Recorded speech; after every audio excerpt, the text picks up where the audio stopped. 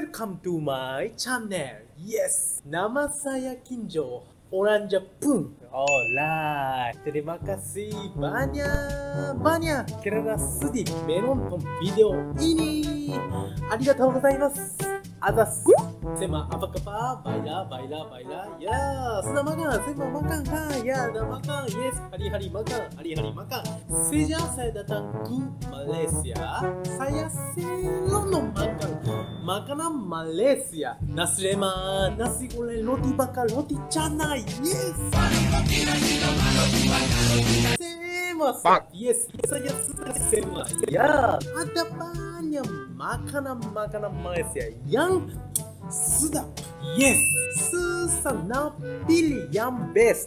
Yes, jadi hari ini saya akan share beberapa makanan Malaysia yang menjadi kegemaran saya sekarang. Yes, terima kasih banyak. Are you ready? Sudah sedia? Are you ready? Let's go jump! lupa share, like, subscribe channel ini terima kasih banyak Sila saksikan, sila terhibur Makanan yang pertama ialah nasi lemak. Yes, saya memang suka nasi lemak. Ya, saya tak pernah rasa nasi lemak di Jepun. Jadi pertama kali makan nasi lemak, terus jatuh cinta. Ah, Itu adalah nasi santan, ikan bilis, kacang tanah, telur, dan sambal. Yes, kolaborasi sangat bagus. Ya, hari-hari saya makan nasi lemak. Badan saya ini jadi macam ini. Yes. Oh my god! Wow! Ya. yes, saya fikir kenapa saya suka nasi lemak. Jepun ada banyak masakan nasi yang menggunakan kecap tapi tak ada dengan santan. Yes, tak ada, tak ada. Tak ada dengan santan. Ya. Tambahan lagi tak ada chili paste macam sambal. Dan tak biasa makan nasi dengan kacang tanah. Yes. Orang Jepun tak biasa makan benda yang keras dengan benda yang lembut. Seba, seba, gigi kami, gigi kami. Senang, senang, losa, senang losa. Macam gigi baby. Jadi mahal, rasa, caranya berbeza dengan masakan Jepun. Nasi lemak merupakan masakan yang rare untuk orang Jepun. Yes! Saya suka makan nasi lemak di mana-mana kedai. Yeah! Especially kedai nasi lemak. Kegemaran saya ialah Village Park nasi lemak di Petaling Jaya. Yes! Uptown Damansang. Dan santan sini rasanya memang sedap. Memang sedap. Dan ayam goreng ini sangat sangat besar. Rasanya Ah, crispy, crispy. Yes. Masa saya ke kedai situ, seran ada ramai orang. Yes. Dan saya tengok satu menu, mereka jual sambal. 80%. 80%. Ya. Jujurnya, saya rasa adalah guna bayar untuk tambah lagi sambal. Ya ke? Really? Seriously? Tapi selepas saya rasa sambal itu, saya bertanya. Dibayar. Yes.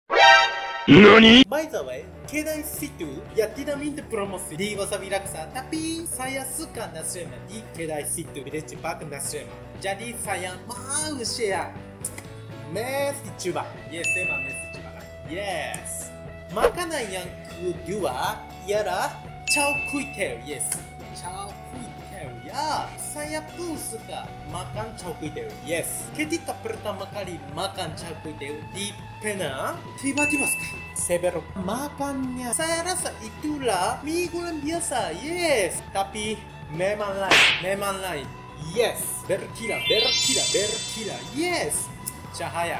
Yes. Nampak berkilau. Ya, goyang-goyang. Yes. Kenapa saya suka makan cakuti? Ya, saya fikir, saya fikir. Saya. Oh, yes. Jepun langsung tak ada masakan mie bento macam lata. Yes, lata. Lata. Yang di. Yes. Almost all adalah mie harus. By the way, saya ada satu suara. You tahu ke?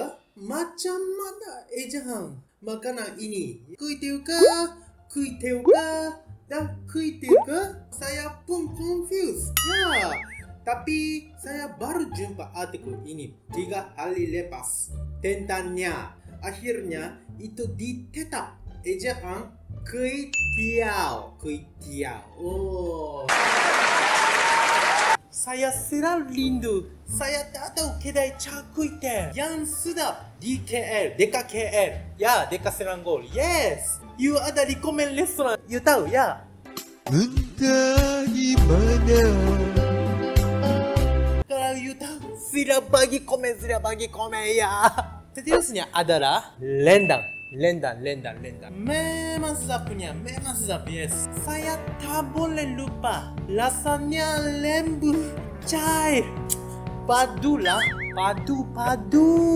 Video Severo ini, saya ada kata 2,000 years later. Saya tak pernah tengok lendang dan restoran lendang kecuali musim hari raya. Kemudian penonton terima kasih semua bagi komen banyak komen dan di mana-mana yes terima kasih banyak. Jadi akhirnya saya dapat makan lendang kecuali pada musim hari raya yes musim biasa kawan bawa saya ke restoran Lemon Toki di Pahang. Lendang sini rasanya memang padu rasanya. Masuk ke dalam mulut rasa shock terus. Yes. Dan lemon ada bau bulu. Yes. Baunya sedap. Ya, rasanya sempurna dengan lendang itu. Yes. Boleh pergi ke Pahang dari KL ya. Kalau kedai ini akan ada cawangan di KL, saya mesti pergi ke banyak kali. Yes, delapan kali yes dalam seminggu. Yes. Tolong mari mari mari mari sini mari sini ya. Seterusnya adalah Setiap kali saya pergi ke Kelantan, saya mesti, mesti, mesti, mesti dapat makan nasi kerabu itu, yes. Saya rasa terkejut dapat rasa nasi kerabu buat pertama kali, yes. Hati saya tertarik sekali masa saya makannya, ya. Nasi serbo kelapa, sayur menta, daging kambing, kolaborasi semua padu ya.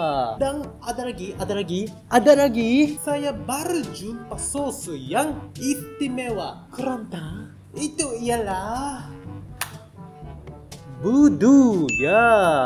Masa pertama kali tengok budu, saya ingat oh, nampaknya macam sambal ya jadi lah, mesti rasanya pedas, mesti rasanya pedas. Tapi tak pedas. Rasanya manis. Kalau curah budu ini di atas nasi kerap, maka mereto.